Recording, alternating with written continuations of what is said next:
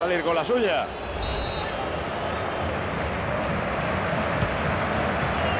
No pinta nada mal.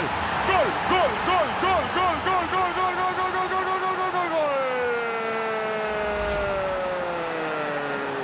Han vuelto a entrar en el partido.